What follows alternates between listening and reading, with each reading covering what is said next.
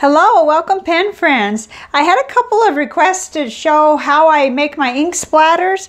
So this is a little bit of an awkward setup and I don't know how it'll work, but I'll try it anyway. And my inspiration was from Goulet Pens. They did a video on it.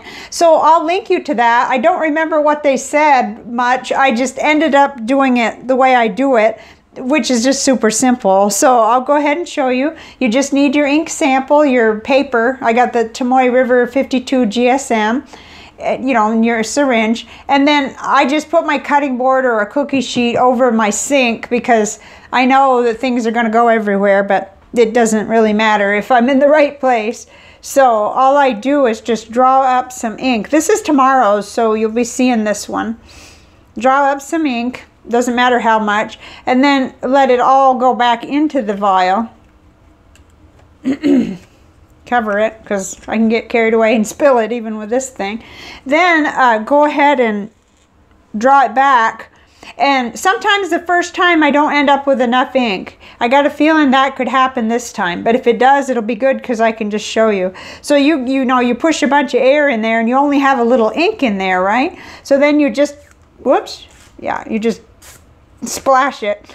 And I didn't get a lot the first time. So what I do when that happens, I just go ahead and try it again. And this one isn't as dark, so, so I just draw it up and then draw it back down in. and we'll go again this time. So, and I usually do it kind of quickly, so I'll just do it the way I do. I'm going to move the sample. Uh, I just draw it back and then splash it. okay, so that's basically it. It comes out different every single time. Um, I know that another video must have been their video where they would, uh, you know, maybe make it do stuff, but I don't do that. It, it just comes out really different every time, no matter how you go about it. So I'll probably pause this and try another color just to show a darker color. Okay, now I got one that we'll be doing in October, the Jacques Herbin Blue Ast Astral. I'm not sure how to pronounce that yet, but this is coming up. This, this was from Goulet Pens that they sent the uh, samples. And I think with a, a, a darker blue, we'll see a little bit different. But this is actually a new syringe. The other dirty one's over there, and I'll clean them as soon as we're done. Obviously, you want to do that because... Okay, so I fill it, or, you know, partially fill it, and then I let that ink out and then I just draw up some air.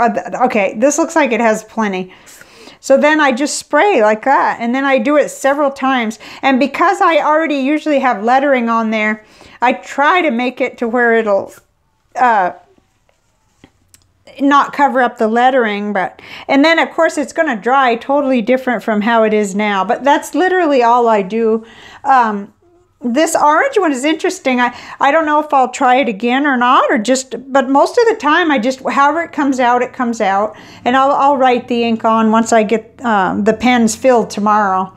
But I don't uh, already have them pre-filled because I'm working all day today. This is Sunday, the 29th of September, 2019, and I'm working all day with the uh, blue ink that I just reviewed. So hopefully this is helpful to you. See how different they came out. Whoops because I should have them together. I mean, it's just totally random, totally different, but I really enjoy doing it. And it's just like with the Nick Stewart technique. You just, you never know what you're going to get and they'll never be the same no matter what. So that's what's fun about it, I think.